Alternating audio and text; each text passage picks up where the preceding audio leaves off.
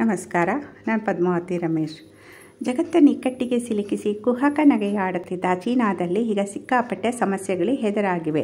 ಒಂದು ಮಿಲಿಯನ್ನಷ್ಟು ಜನರು ಕೋವಿಡ್ ಸೋಂಕಿತರಾಗಿದ್ದಾರೆ. ಅಲ್ಲಿನ ಸರ್ಕಾರಕ್ಕೆ ಔಷಧಿಗಳನ್ನು ಪೂರೈಕೆ ಮಾಡಲು ಸಾಧ್ಯವಾಗುತ್ತಿಲ್ಲ. ಜನರಿಗೆ ಜ್ವರಕ್ಕೂ ಔಷಧಿಗಳು ಸಿಗುತ್ತಿಲ್ಲ.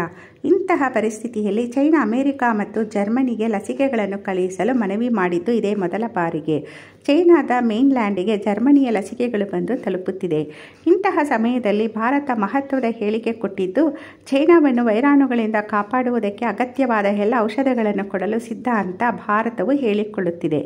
ಶತ್ರುಗಳು ಮನೆಗೆ ಬಂದರೂ ನೀರನ್ನು ಕೊಟ್ಟು ಉಪಚರಿಸುವವರು, ಪಕ್ಕದ ದೇಶದಲ್ಲಿ ಕಷ್ಟಕ್ಕೆ ಇರುವವರನ್ನು ಹಾಗೆ ಬಿಡುವುದಕ್ಕೆ ಸಾಧ್ಯವೇ? ಇದೇ ಭಾರತದ ದೊಡ್ಡ ಗುಣ. ಇವತ್ತು ಬೆಳಿಗ್ಗೆ ಅಂದರೆ ಇಪ್ಪತ್ತ್ಮೂರು ಡಿಸೆಂಬರ್ ಸಿಕ್ಕಿಂನಲ್ಲಿ ನಡೆದ ಘೋರ ಅಪಘಾತದ ಮಾಹಿತಿಯನ್ನು ನಿಮಗೆ ಕೊಡುತ್ತೇನೆ. ಉತ್ತರ ಸಿಕ್ಕಿಂನ ಸೀಮಾ ಬಳಿ ಭಾರತೀಯ ಯೋಧರಿದ್ದ ಸೇನಾ ವಾಹನವೊಂದು ಕಂದಕಕ್ಕೆ ಹುರುಳಿ ಬಿದ್ದು ಹದಿನಾರು ಯೋಧರು ಮರಣಿಸಿದ್ದಾರೆ. ನಾಲ್ಕು ಯೋಧರು ಗಂಭೀರವಾಗಿ ಗಾಯಗೊಂಡಿದ್ದಾರೆ. ಮೂರು ವಾಹನಗಳನ್ನು ಒಳಗೊಂಡಿದ್ದ ಸೇನಾ ತಂಡವೊಂದು ಇವತ್ತು ಬೆಳಿಗ್ಗೆ ಚಟಾರ್ನಿಂದ ತಂಗು ಪ್ರದೇಶಕ್ಕೆ ಹೊರಟಿತ್ತು. ಈ ಹಂತದಲ್ಲಿ ಸೇಮಾ ಬಳಿ ಬಂದಾಗ ರಸ್ತೆಯಲ್ಲಿ ಹಿಮ ಬಿದ್ದ ಕಾರಣ ಸೇನಾ ವಾಹನ ಸ್ಕಿಡ್ ಆಗಿದೆ. ಅದನ್ನು ಕಂಟ್ರೋಲ್ ಮಾಡುವುದಕ್ಕೆ ಸಿದ್ಧರಾಗುವಷ್ಟರಲ್ಲಿ ಎದುರಿನಲ್ಲಿ ತಿರುವು ಕಾಣಿಸಿದೆ. ಹೀಗಾಗಿ ವಾಹನ ಹಿಡಿತಕ್ಕೆ ಸಿಗದೆ ಕಂದಕಕ್ಕೆ ಹುರುಳಿದೆ. ತಕ್ಷಣ ರೆಸ್ಕ್ಯೂ ಆಪರೇಷನ್ ಮಾಡಲಾಗಿದೆ. ನಾಲ್ವರು ಗಾಯಾಳುಗಳನ್ನು ಏರ್ಲಿಫ್ಟ್ ಮಾಡಲಾಯಿತು. ಉಳಿದವರನ್ನು ಉಳಿಸಿಕೊಳ್ಳಲು ಸಾಧ್ಯವಾಗಲಿಲ್ಲ.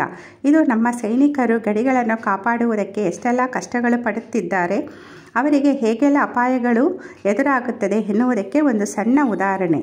ಅಪಘಾತದಲ್ಲಿ ಸಾವನ್ನಪ್ಪಿದ ಯೋಧರಿಗೆ ನನ್ನ ಪ್ರಣಾಮಗಳು. ಗಾಯಗೊಂಡ ಯೋಧರು ಶೀಘ್ರ ಗುಣಮುಖವಾಗಲಿ.